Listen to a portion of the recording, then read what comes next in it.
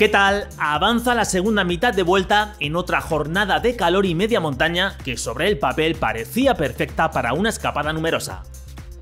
Duodécima etapa, una ruta de 175 kilómetros entre dos capitales andaluzas, Jaén y Córdoba, culminada por dos bucles alrededor de la segunda, con las subidas primero al alto de San Jerónimo y en el segundo al alto del 14%. De nuevo, ambición y pelea en la parte inicial de la etapa, 90 kilómetros para formar un grupo de 8 después de rodar a más de 50 a la hora. La fuga la integraban Stan de Wolf, Jetsebol, Julian Amezqueta, Mikel Iturria, Sebastian Bergic, Maxim Van Gils, Chad Haga y Sander Armé. Pero, al igual que ayer, el pelotón no daba margen, limitando la diferencia en torno al minuto y medio. Iba a haber una caída importante antes del Alto de San Jerónimo, donde se veía implicado Tobias Bayer. En la subida cedía el americano Chad Haga y estiraba muchísimo UAE trabajando para Mateo Trentin. Pero atentos aquí, en esta zona de descanso un corredor salía despedido yendo al suelo entre otros Adam Yates o Primos Roglic. Todo Jumbo esperaba al esloveno retomando la marcha en apariencia sin daño físico. Peor parados quedaban Dylan Van Barle o Nelson Oliveira, aunque ambos conseguían finalizar la etapa. Van Gils, de Loto Sudal, aceleraba en la subida al alto del 14%. El resto de Wolf, Armé o Amezqueta serían alcanzados a unos 5 kilómetros de coronar este puerto.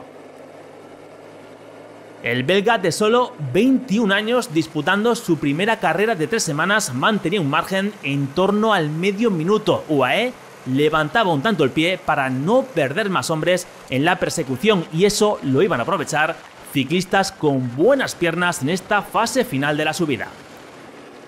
Ahí lo tienen Rafa Almaica al frente del pelotón, también muy bien situados los compañeros del líder Ott Christian Eiking. Se formaba un cuarteto en cabeza con Jay Vine de Alpecin, Román Bardet de DSM, Sergio Henao de Quebeca y Giulio Ciccone de Trek Segafredo. Los cuatro iban a coronar con una ventaja en torno a los 40 segundos, tirándose para abajo en una bajada muy valiente en busca del tercer y definitivo paso por Córdoba. Sin embargo, el cambio de carretera, un largo tramo de autovía y la llegada de Bike Exchange para Michael Matthews reducía muy rápido la diferencia para la escapada, dándoles caza cerca de la pancarta del último kilómetro. Se echaban encima, iba a terminar la aventura, resistía unos pocos metros más el oceánico de Alpecin, Vine. Se preparaba la llegada para Matthews, pero atentos de rosa cómo aparece el belga James Kukelier. El de Education First sorprendía al grupo con su compañero Magnus Kornilsen a rueda, abrían un hueco que solo podía seguir el italiano Bajoli. El danés partía de muy lejos, se tenía que abrir Kukelier después de su gran trabajo y aunque Bayoli remontaba metros, Cornilsen conseguía mantener la cabeza para rematar esta victoria en Córdoba. Fantástica vuelta para Magnus Cornilsen, logrando su segunda etapa, a las que hay que sumar la exhibición Camino de Valdepeñas de Jaén, quinta etapa en la vuelta para el hombre de Education First. Ese abrazo más que justificado con Jens Kukelier, media victoria era suya. Clasificación Cornilsen, Bajoli, Matthews, Trentin, Kron, Grossharner, Soto, Rux, Brambila y Tusbel. Por cierto, 5 de los 7 ganadores de etapa en esta vuelta ya han repetido Philipsen, Jacobsen, Storer, Roglic y ahora Cornilsen.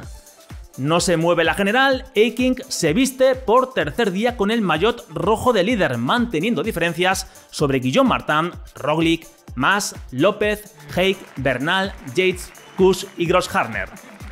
No le gusta el calor, pero este noruego resistía los 40 grados de Córdoba.